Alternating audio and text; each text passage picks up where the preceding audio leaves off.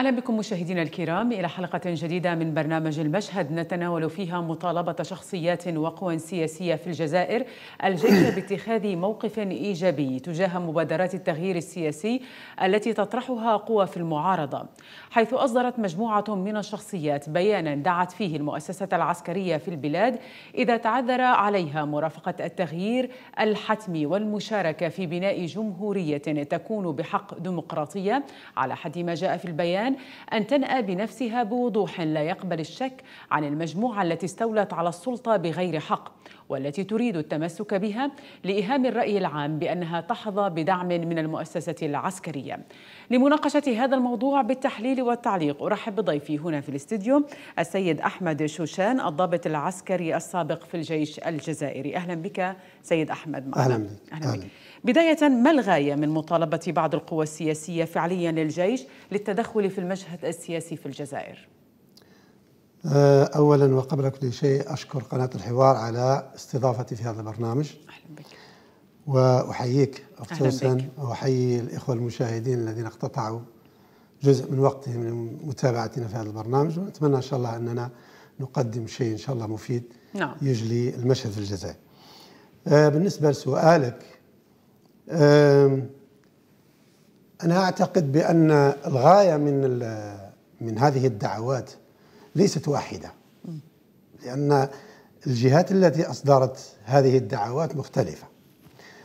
أه، لكن في النهاية هذه الدعوات من طرف خاصة من طرف ناس محسوبين على أحزاب سياسية سواء بطريقة مباشرة أو غير مباشرة. أه، أنا أعتقد بأن هذه الدعوات هي دليل على الإفلاس. إفلاس الطبقة السياسية لأن عندما تصبح الطبقة السياسية تطالب الجيش بأي شكل من الأشكال بالتدخل في السياسة في هذه الحالة هي تعلن عن عجزها على إيجاد البديل بدون مرافقة الجيش. لكن آه، أعتقد أن الهدف أو الغاية من هذه الدعوات يختلف. فالبعض يعني وجه الدعوة للجيش لأنه آه، يعتقد بأن المرحلة المقبلة سيكون فيها نوع من الإقصاء إذا كان آه، تمكنت مثلا القوى الاستئصالية في المستقبل. إذا كان مثلا تمكنت القوى المعادية لمقومات الهوية الوطنية خاصة المعادية للتيار الإسلامي في المرحلة القادمة ستتم تصفية واستئصال هذا التيار وبالتالي كي نسمع مثلا الدعوة نتاع الدكتور مقري اللي هو رئيس حمص عندما يدعو هو الجيش بشكل من الأشكال للتدخل في السلطة أعتقد بأن الهدف من هذه الدعوة هو مطالبة من الجيش بأن يكون ضامنا. هل هناك إجماع من كل أطياف المعارضة بمختلف انتماءاتها لمثل هذه الدعوة؟ أنا لا أعتقد هذا لأنه لأنك عندما تشوفي الدعوة من مصدر الدعوة هناك اللي حركة مجتمع السلم. أيوه حركة مجتمع السلم كان الدكتور مقري صريح في هذا هو اللي قالها بصراحة طلب الجيش بصراحة. واضح أنه يريد أن يكون الجيش ضامن. لكن مثلا الطريقة المبطنة التي طلب بها أحمد يحيى رئيس الأرندي آه، الجيش بثناء وعلاقية الجيش بطريقة مبا... غير مباشرة. آه، في الحقيقة هو يعرض نفسه كصاحب مهام قذرة إذا كان الجيش يحتاج هذا الشخص ولا هذا التيار اللي وراه اللي هو التيار الاستيصالي إذا كان آه، الجيش يحتاج هذا الناس فهم يعني يعرضون أنفسهم للقيام بأي دور في المستقبل آه، إذا كان الجيش يريدهم. نفس الشيء نفس الشيء. هناك دعوة أخرى مبطنة هي من التيار اللي وراءه القيادة العسكرية السابقة نصار خالد وتوفيق وغيرهم. آه، وخرجوا في ظاهر في ظاهره هذه المواطنة حركة المواطنة أو في التصريح الذي صرحته نعم. الصحفية ليلى حداد. هذه هذه في الحقيقة هؤلاء يريدون سحب آه، شرعية القيادة العسكرية في التصرف الأخير اللي تقوم به اللي هي عملية تطهير كبيرة تقوم بها القيادة العسكرية منذ 2015 فهم يريدون سحب هذه الشرعية من القيادة العسكرية لأنهم يعرفون إذا كان واصلت القيادة العسكرية في هذا الاتجاه راح يكونوا هم الضحية. هل هذه التحركات تأتي في إطار الترتيبات للمشهد الانتخابات في عام 2019 آه، طبعا فيه يعني في يعني كاين علاقة بهذا الجانب. وخاصة في اعتقادي أن القيادة العسكرية تشتغل على هذا الأساس سلوك القيادة العسكرية هو تهيئة الظروف المناسبة للانتخابات القادمة بحيث أنها تكون يعني آه، تحقق نقلة أو تغيير في إطار سلمي في إطار هادئ يعني يضمن نوع من من الاستقرار في البلاد. نعم. آه نفس الشيء ردود الفعل للاحزاب والطبقة السياسية هذا كذلك يعني آه داخل في هذا الإطار لكن كل واحد يريد آه، آه، يعني عنده غاية من التحضير للانتخابات 2019 مم. طيب في إطار قراءة هذه الدعوة من قبل بعض أطياف المعارضة سيد أحمد مم. البعض فسرها بأنها محاولة أو دعوة للانقلاب تدخل الجيش أو إقالة بوتفليقه بشكل أو بآخر والدعوة للانتخابات المبكرة هل هناك فعلا خفايا في هذه الدعوة تصل لهذه الدرجة أم تستبعدها؟ أنا لا أعتقد بأن أي واحد يعني يعني وجه لقيادة الجيش الدعوة بالانقلاب لسبب واحد لأن هذه القيادة الحالية قاطعة الاتصال مع كل الطبقة السياسية. والمشكل أنه الناس لا تريد أن تصدق تقصد القيادة آه، مؤسسة الرئاسة؟ لا لا أقصد القيادة العسكرية. نفسها. لأن في الحقيقة القيادة العسكرية الآن تتصرف في حدود صلاحياتها العسكرية باسم رئيس الجمهورية. الآن القائد الجيش اللي هو الفريق أحمد قيد صالح هو يتصرف بصلاحية وزير الدفاع المخولة له من طرف الرئيس بصفة شرعية.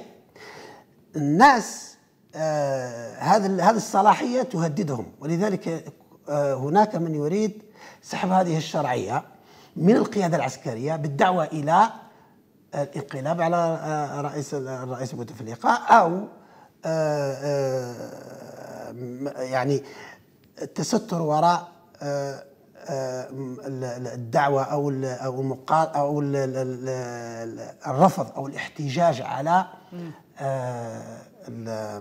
العهدة الخامسة.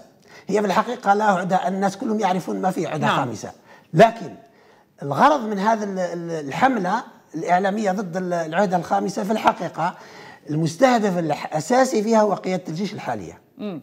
هم طيب. يريدون إنهاء الصلاحيات التي تتمتع بها قيادة الجيش الآن في أقرب وقت ممكن طيب حتى نفهم هذه الدعوة أيضا من قبل المعارضة ما هو الدور المقصود أو المطلوب من الجيش؟ عندما يتم آه، الدعوة أو مطالبة الجيش للتدخل ما هو الدور تحديدا الذي تريده هذه المعارضة؟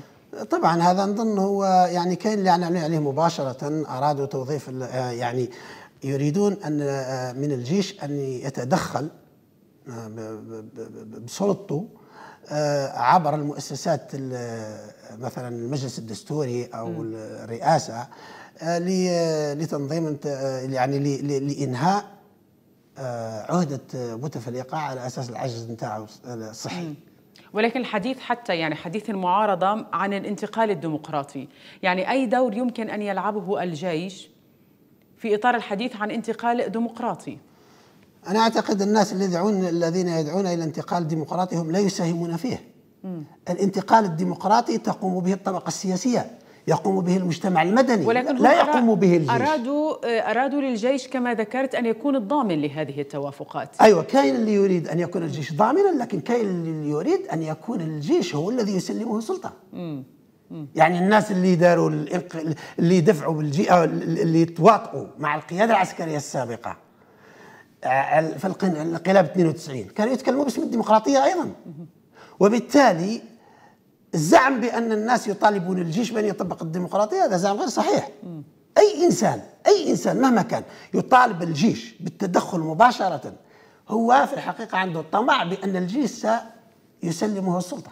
هذه هي من أما أما الإنسان الذي يريد حقيقة انتقال ديمقراطي وتغيير حقيقي في البلاد فهو الذي يقدم بديل مدني يقدم بديل مدني للشعب الجزائري ولقيادة الجيش.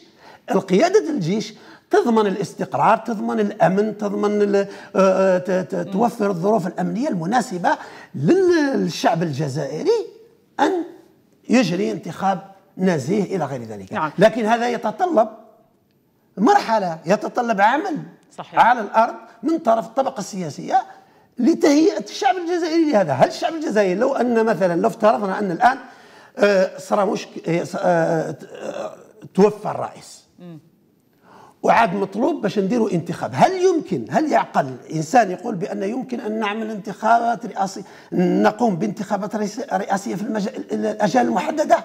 هذا غير ممكن. الوضع الحالي في الجزائر لا يسمح بإجراءات بإجراء انتخابات ديمقراطية نزيهة. لماذا؟ لأن الطبقة السياسية ميتة. الطبقة السياسية ماتت موتة كبرى. لا يوجد حزب واحد مقدم بديل وشبه بديل للوضع القائم. عن الخيارات أيضا أي. المؤسسة العسكرية. اسمح نعم. لي أن أشرك معي السيد سليمان أعراج أستاذ العلوم السياسية والعلاقات الدولية من الجزائر. أهلا بك سيد سليمان معنا. يعني بداية من وجهة نظرك ما الغاية حقيقة من مطالبة بعض القوى السياسية للجيش بالتدخل في المشهد السياسي في الجزائر؟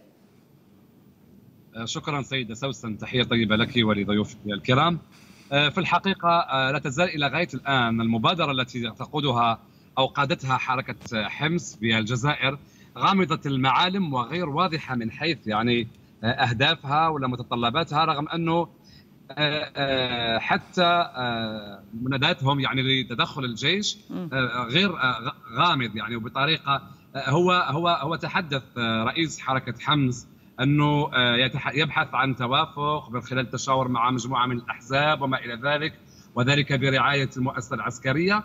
آه، لكن الكل يعرف المؤسسة العسكرية آه، أنا أعتقد أنه هذا التيارات السياسية المفلسة تحاول أن تستنجد بالمؤسسة العسكرية وتحاول أن تستغل رمزية المؤسسة وما تتمتع به من قبول لدى مختلف شرائح المجتمع.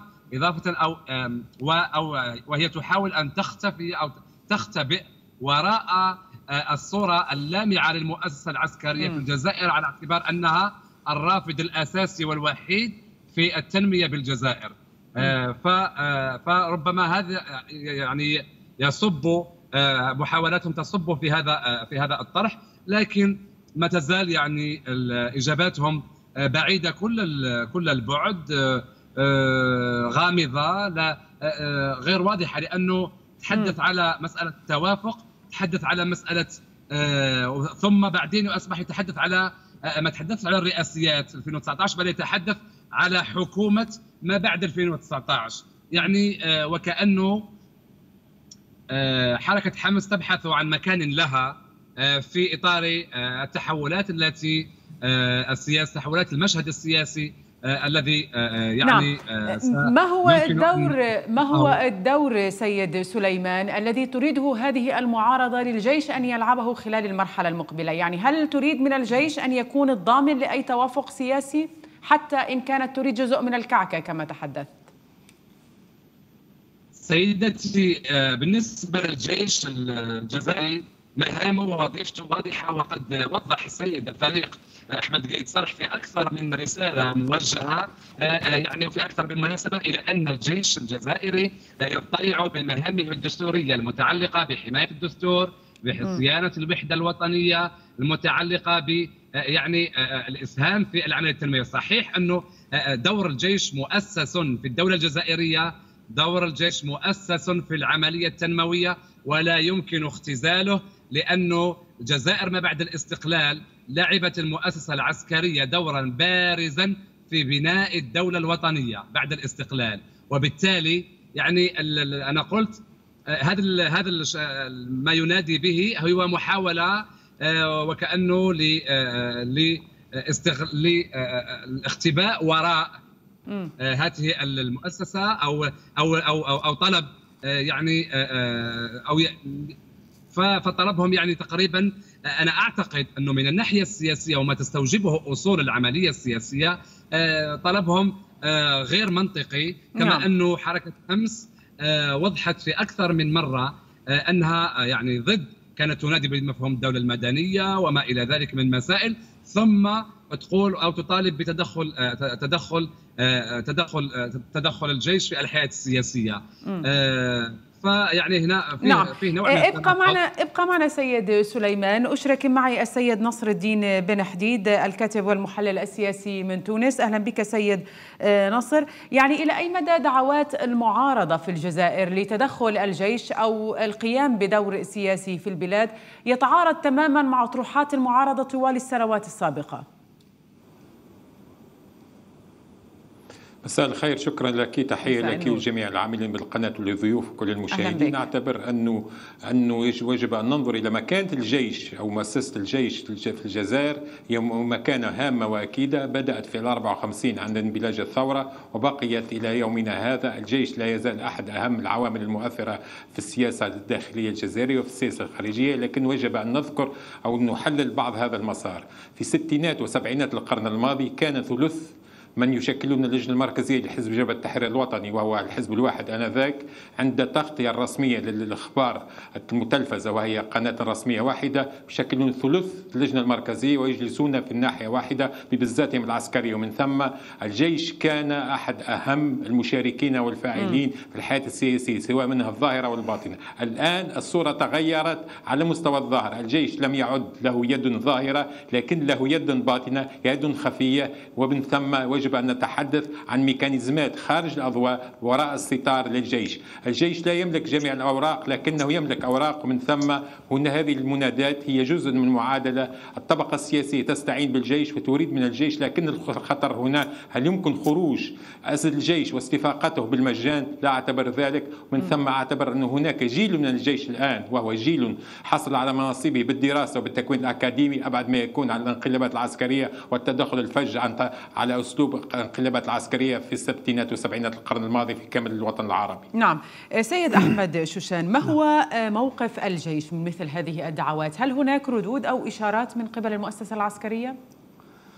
أنا لا أعتقد بأن الجيش سيولي أي اهتمام لهذه الدعوات. الجيش الآن أو خليني نقول بأنه مدام الأخ نصر الدين اللي كان يتكلم. آه نعم. الأخ ناصر. ما دام الاخ ناصر تكلم على قضية الجيل الجديد من الجيش. هناك من لا يريد أن آه، يصدق بأن هناك تحول في قيادة الجيش الوطني الشعبي. وهذه حقيقة آه، يعني تجاهلها لا يساعد أي إنسان أن يقرأ المشهد قراءة صحيحة. تحول تحول جذري فيما يخص ماذا؟ ماذا؟ تحول جذري؟ تحول جذري تحول جذري في التعامل مع الدولة الجزائرية م. تحول جذري لماذا؟ لأن آه، الجيل الذي آه، وصل الآن إلى مستوى القيادة كله آه، باستثناء الفريق أحمد قايد صالح تقريبا أو واحد أو اثنين محسوبين على الثورة لكن هم ما همش من جيل الثورة. باستثناء الفريق أحمد قايد صالح باقي الضباط الذين يشكلون القيادة العسكرية كلهم من جيل الاستقلال. يعني قصدي كلهم من الجيل الذي التحق بالجيش الوطني الشعبي أثناء بعد الاستقلال وليس في جيش التحرير. ماذا أثر هذا على بنية هذا هذا الجيل هذا سنة 1992 أعلى رتبة فيه أعلى واحد كان أعلى أعلى رتبة فيه كانت رتبة رايد حديث العهد.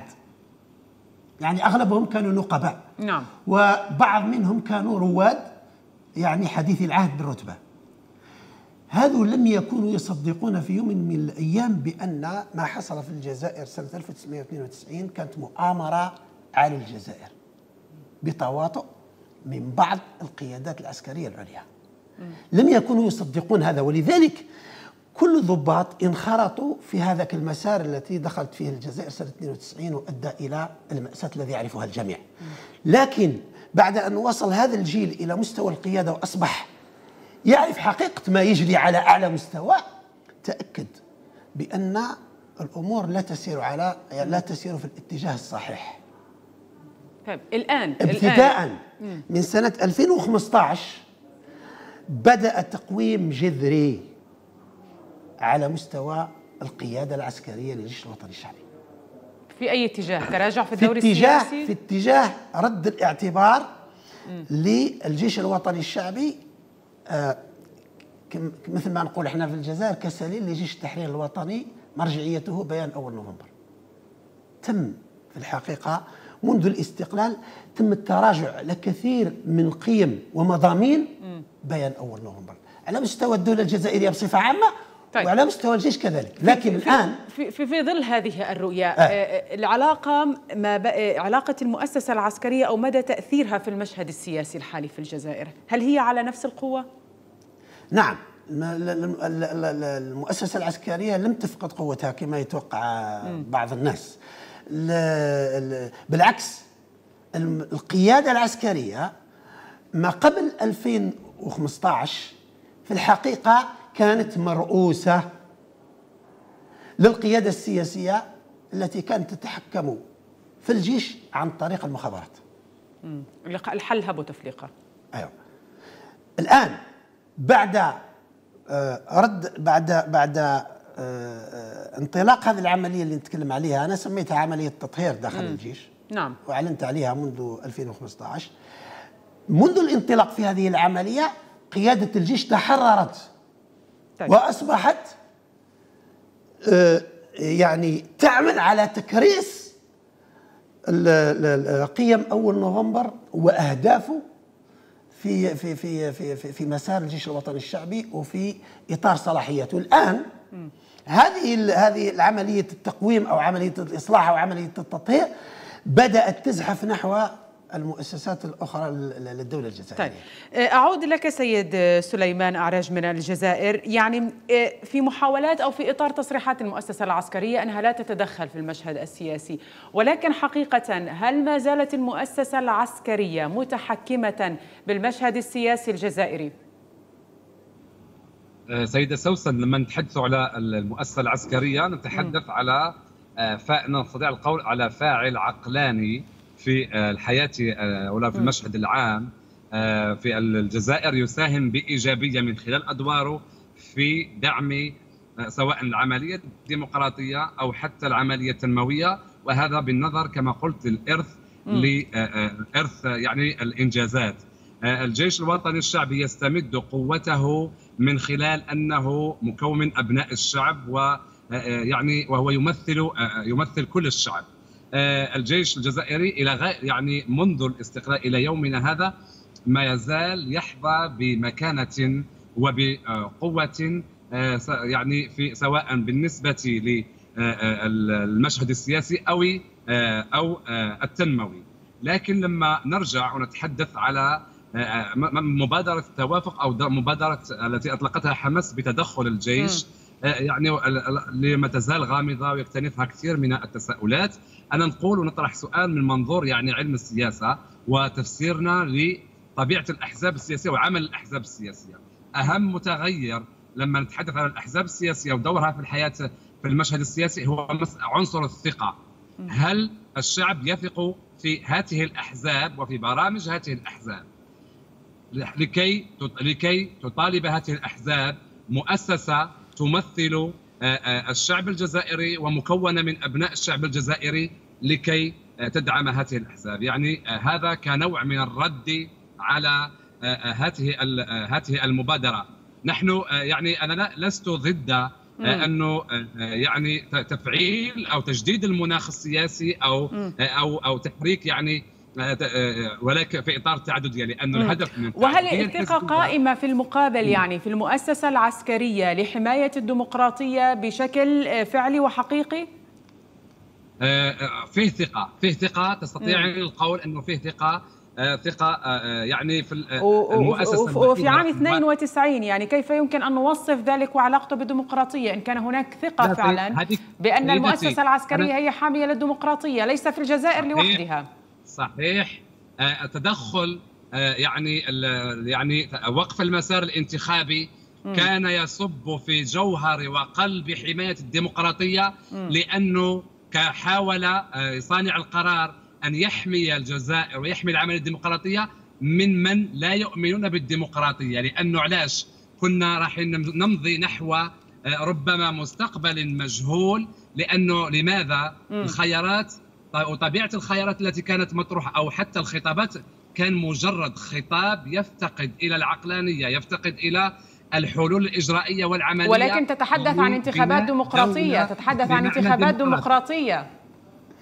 لا هنا نرجع للمساله انه إحنا نفسر السلوك الانتخابي في تلك كان سلوك عقابي كان مم. كان سلوك عقابي بحيث انه المواطن لأنه هنا نعود نرجع نربط المسألة بقضية النزعة البراغماتية للناخب. الناخب يبحث عن من يوفر له ظروف ومطالب اقتصادية واجتماعية. آه هذا الشيء لمسه في الخطاب الذي كان مسوقا آه وفي الممارسات التي كانت مسوقة آه، وحسم يعني حسم إنهاء المسار الديمقراطي في أقل من عام. لا حماية هذا حماية للدولة. لأنه طيب. تتوقف الديمقراطية عند مفهوم المصلحة العامة للوطن.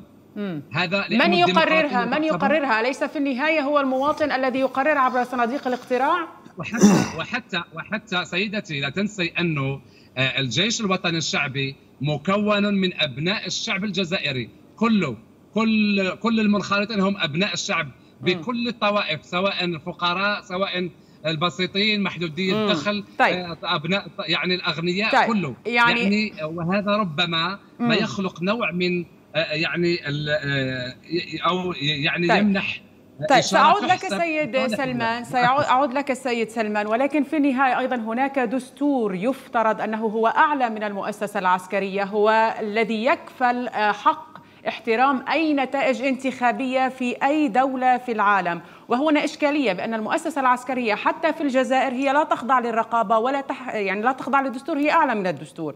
هناك انتقاد حول هذا الموضوع. أذهب للسيد نصر الدين بن حديد من تونس. سيد نصر عندما نتحدث عن العلاقة ما بين الانتقال الديمقراطي والدعوة لتدخل الجيش. تدخل الجيش أو المؤسسة العسكرية. ليس في الجزائر في كافة الدول العربية.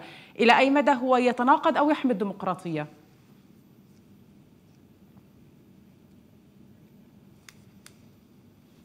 السؤال هل ستقبل المؤسسة العسكرية لا تحدث عن الجزائر فقط في أي بلد؟ أن تتجاوز الدستور بمنطق حماية الديمقراطية وحماية المكتسبات بين الظفرين. أعتبر عودة الجزائر هناك عاملان مهمان وجب النظر إليهما. هي العشرية السوداء التي مرت بها الجزائر واستطاع الجيش أن يقضي على الإرهاب أو على الأقل أن يحدث أمنا. واستقرارا وثانيا الحالة الصحية للرئيس بوتفليقة التي هي محل السؤال والتي بسببها جاءت مطالب جهات داخل الجزائر. وهي وهي مطالب ليست حديثة. هناك نور الدين بكروح أحد آه، السياسي الجزائري اللي كان سابقا وان طالب الجيش بالتدخل وهناك جهات أخرى راهنة. لكن أعتبر السؤال أين هو؟ هل يمكن صناعة الديمقراطية بأدوات غير ديمقراطية؟ من رأيي الشخصي والمتواضع يستحيل ذلك. وثانيا هل يستجيب الجيش؟ الجيش لن يستجيب. لن يستجيب. اعتبارات أهمها أن الجيش الآن هو بمنع عن الصراعات السياسية بمنع لم يتلوث بعد بما تلوث به الطبقة السياسية من ترهل ومن من عجز ومن ومن ضعف. من ثم الجيش لا يريد أن يورط نفسه. بالتالي أعتبر أن هذه الدعوات هي أكثر منها دعوات للظهور ولكسب الأضواء الإعلامية من دعوات فاعلة وفعالة خاصة وأنه قايد صالح القائد الأعلى للقوات المسلحة الجزائرية قد أعلن أكثر من مرة وإن كان خطابه فيه كثير من الطبائية أن الجيش لن يتدخل لكنه أعيد وأكرر الوجه الآخر للعملة أن الجيش له رأي فيما, فيما يجري الجيش الجزائري ليس الجيش الفرنسي أو الجيش الأمريكي له رأي فيما يجري لكن السؤال هنا حول القنوات التي يتم من خلالها صرف هذا الرأي حول الأدوات التي لا أقول يتدخل بها بل يؤثر يؤثر بها. ثم هذا السؤال هو أكثر منه بحث في الفراغ في في المسكوت عنه في غير المرئي أكثر منه بحث في المرئي وفي في, في الذي طيب هل برأيك سيد نصر أن الجيش بعيد عن المشهد السياسي يعني كما تصدر تصريحات عن المؤسسة العسكرية أو الأحزاب المحسوبة؟ دعنا نقول على الرئاسة. الجيش في قلب المعادلة العسكرية والأمنية والسياسية وحتى الاجتماعية. عندما عندما السياسيين هو في قلب الرحاة. لا يمكن الحديث عن ابتعاد الجيش عن السياسة لكن لا يمكن الحديث عن مسك الجيش للبلاد أو الحديث عن التدخل في الشؤون في الشؤون الداخلية في الشؤون السياسية الجزائرية. هناك مطالب الآن مردها ضعف الطبقة السياسية والحالة الصحية للرئيس بوتفليقة. والثاني والأهم هي حيره الطبقة السياسية أمام المجهول الذي ينتظر البلاد برأيهم خاصة الانتخابات 2019 وما يقال وما يردد عن العهده الخامسة ستكون عهده خامسة للرئيس بوتفليقة. البعض يخاف البعض يريد أن يكون له حصة في الكعكة القادمة والكثير منهم في رأيي الشخصي هم يريدون الجيش للتدخل لمنع بوتفليقة من الدخول في الانتخابات لكي يكونوا هم جزء من السباق الانتخابي لأنه لا يستحيل أن يكون بوتفليقة في الانتخاب ويخسر الانتخابات. لم يحصل لرئيس عربي أن شارك في انتخابات وخسرها. من ثم هناك دعوة للجيش للدخول لإعادة رسم و و وتسطير الانتخابات القادمة. وهذا هو مراد السؤال. هل يمكن الجيش أن يكون فاعلا؟ ويمكن يمكن أن يكون فاعلا من خلف الستار لكن هناك قنوات داخل الجيش ومشاورات تجري داخل الجيش ويتم إيصال هذا هذه الآراء بطريقة ما إلى النخبة السياسية الحاكمة والفاعلة في الجزائر. نعم. أشرك معي أيضا السيد محمد العربي زيتوت الدبلوماسي الجزائري السابق. أهلا بك سيد محمد عربي زيتوت. آه، معنا. يعني آه، أحزاب آه، من المعارضة في الجزائر تطالب بدور للجيش لتحقيق الانتقال الديمقراطي. إلى أي مدى يمكن للجيش أن يكون ضامن للديمقراطية؟ حقيقة؟ السلام عليكم ورحمة الله. وعليكم السلام. ابتداء أقول أنني لم أستمع إلى الحوار الذي يدور آه، حولك هناك وبالتالي سأرد فقط على سؤالك. هذه الدعوات آه، بطبيعة الحال آه، يجب أن نفرق بين نوعين من الدعوات. الدعوات التي تريد أن يظل الجيش هو القابض على السلطة من وراء الستار ونحن نعرف. أن قادة الجيش لا أقول جيش ككل وإنما قادته سواء كانوا عقداء في الستينات والسبعينات والثمانينات أو جنرالات فيما بعد هم الذين جاءوا بالرؤساء الجزائريين جميعا وهم الذين أسقطوهم جميعا. يعني لو آه، ذهبنا بدقيقة واحدة في 62 العقداء هم الذين جاءوا ببن بله ووضعوه رئيس. آه، في 65 العقيد بومدين هو الذي أطاح كان قائد الجيش هو الذي أطاح بن بله واستولى على على السلطة. في 79 العقداء هم الذين جاءوا بعقيد ووضعوه رئيس الدولة. في 92 العقداء هم الذين طاحوا بالشاذلي وجاءوا ببوضياف والجنرالات هم الذين طاحوا بالشاذلي وجاءوا ببوضياف وجعلوه رئيس الدولة. في 78 98 أطاحوا بالجنرال زروان وجاءوا ببوتفليقه في 99 الذي يبقى وهو في شكل محنط تماما على رأس هذه الدولة التي تعاني اليوم معاناة غير مسبوقة وشعبها يعاني معاناة غير مسبوقة، إذا في واقع الأمر منذ الاستقلال أو ما يبدو أنه استقلال لأن يتضح لنا أنه استقلال ظاهري أكثر من ذلك فإن قادة الجيش هم الذين يمتلكون البلد وكما قال أحدهم يوما إذا كان لكل دولة جيش فإن لجيش الجزائر دولة، هذه هي الحقيقة الساطعة التي لا يستطيع أن ينكرها أي كان لأنها وقائع وليست تحليل. طيب آه في إطار العلاقة سيد محمد عربي زيتوت ما بين مؤسسة الرئاسة والجيش. لمن الكلمة العليا الآن؟ الكلمة العليا منذ آه منذ آه تقريبا 2014 أو 2013 هي لقائد الجيش لقايد صالح.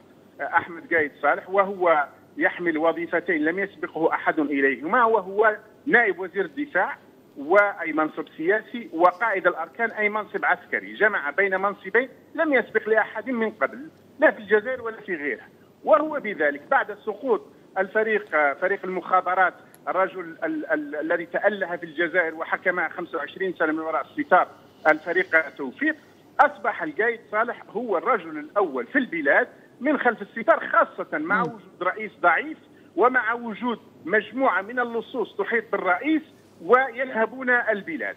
آه هذه هذه هي الحقيقة. بعد ما جرى في هذه الأيام في هذه الأسابيع نعم. وإسقاط قايد صالح لقائد الشرطة وهو جنرال وإسقاط آه قائد الدرك وهو جنرال أيضا بعد إسقاط هذين الجنرالين استطاع قايد صالح أن يمسك بمزيد من السلطات والنفوذ. وعندما أقول قايد صالح هنا قائد الأركان ليس وحده معه حوالي 30 جنرال هم الذين يحكمون البلاد حقيقة. لكن هذا لا ينفي أن هناك مسؤولية للصور والأشكال المدنية التي هي أشد بؤسا من من من آه، اليوم من الذين آه، يتخطفون وهم جنرالات يتخطفون وراء الستار والدعوة آه، يكونون في الصورة من جديد وكأنهم ليسوا في الصورة وكأنهم نعم. ليسوا الحاكمين من الخلف. في الحقيقة فيها كثير من المخادعة إلا إذا كان المراد منها وضع هؤلاء أمام كشفهم وفضحهم من أنهم هم الحكام ومطالبتهم بمحاولة إيجاد حل. نعم. شكرا جزيلا لك سيد محمد عربي زيتوت الدبلوماسي الجزائري السابق على هذه المشاركة. سنعود لإكمال الحوار ولكن بعد أن نذهب لهذا الفاصل القصير. ابقوا معنا.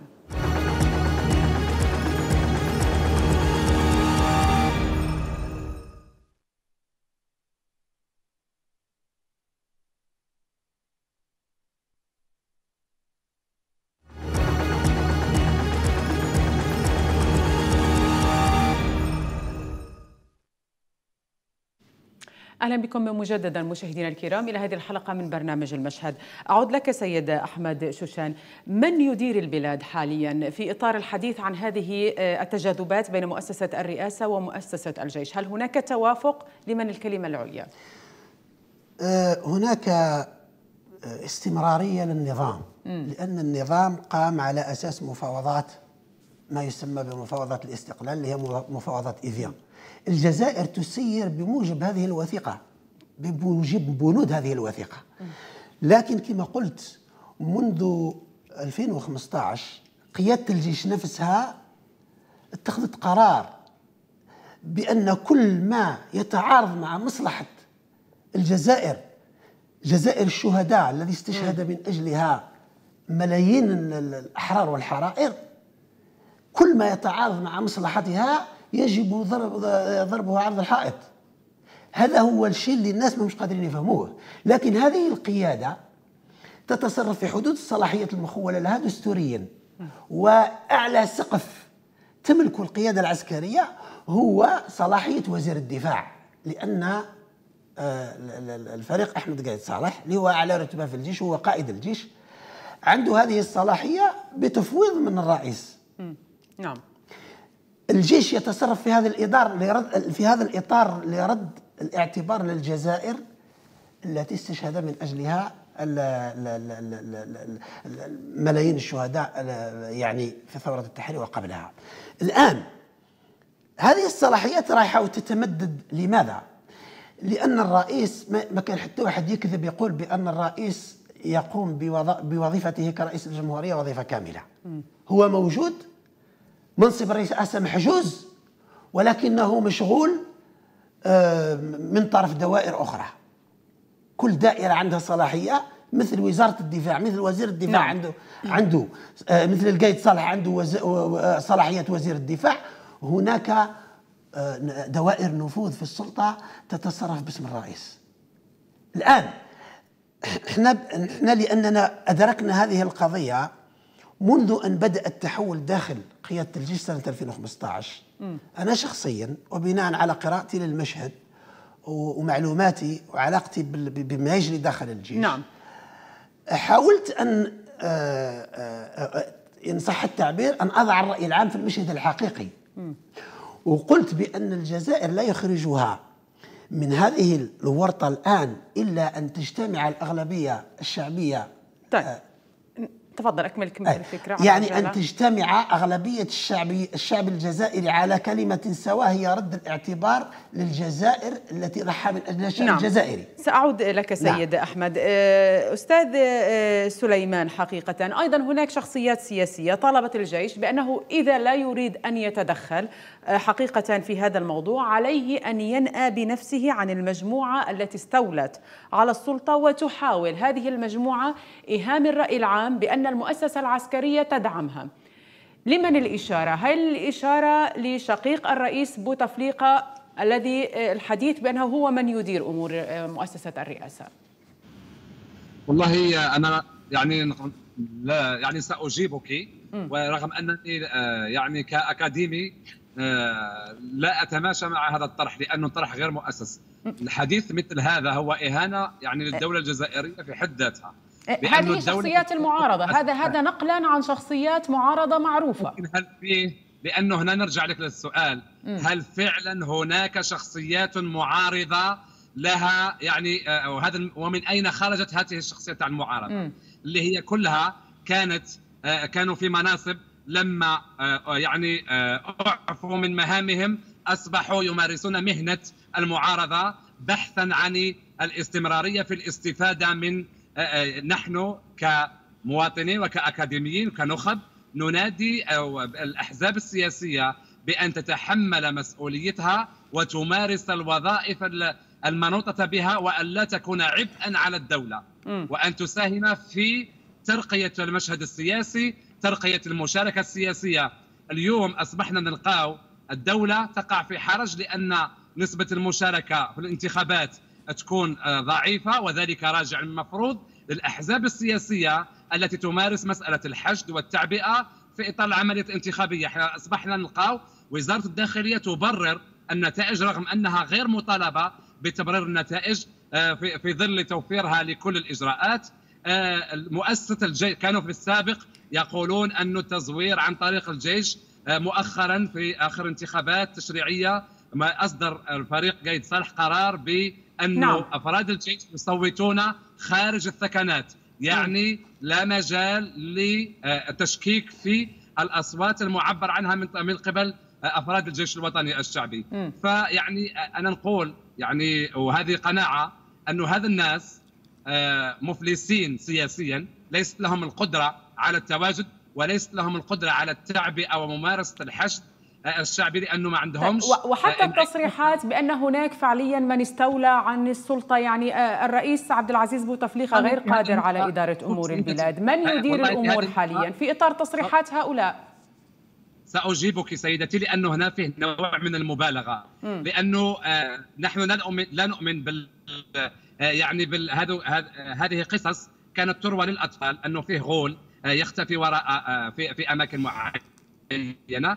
هذا آه، نفس الشيء هذا هذا الناس راهم يروجوا لهذا المفهوم أنه حتى وإن كان السيد آه، آه، سعيد شقيق الرئيس باعتباره مستشار للرئيس يمارس صلاحيات باعتباره مستشار مستحيل أنه هذا ليس ليس شخصا خارقا ولا يمتلك عصا سحرية تتحكم في الجميع لأنه علاش؟ الدولة دولة مؤسسات وفيه مؤسسات محلية ومركزية ودولة شاسعة المساحه مثل الجزائر فيها 48 ولاية يس 40 مليون نسمة بتعقيداتها بتركيبتها المعقدة. أعتقد انه التحكم 100% في كل شيء آه، مسألة جد نسبية ولا أساس لها من آه، الصحه حتى وإن كان يعني آه، يعني وإن كان له رأي أو قرارات تطبق في في مسائل معينة. لكن ليس كما يصوره هات هات هات هذا نعم. الأشخاص تصوروا هات المعارضة. لأنه كما قلت شكون سماها معارضة؟ هي من سمت نفسها معارضة.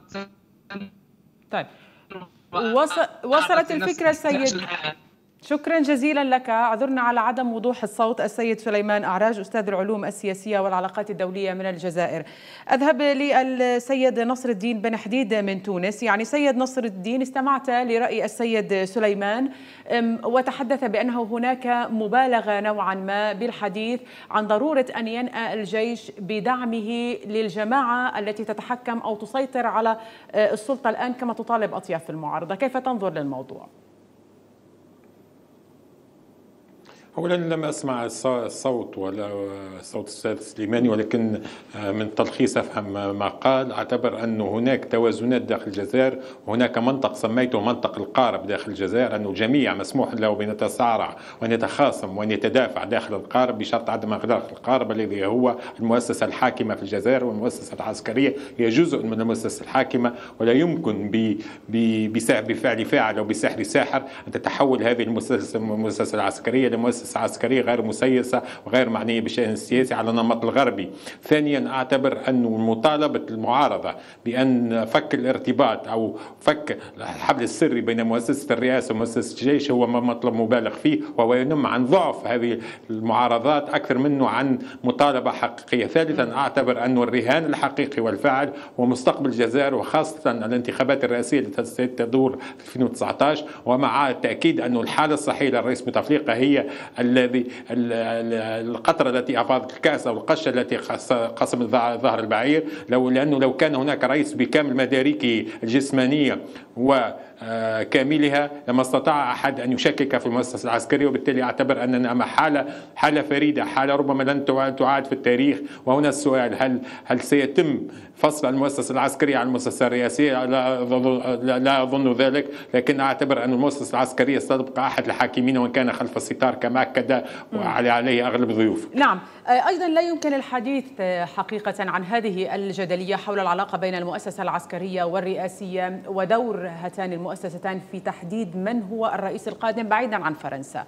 فرنسا كيف تراقب الأمور من وجهة نظرك؟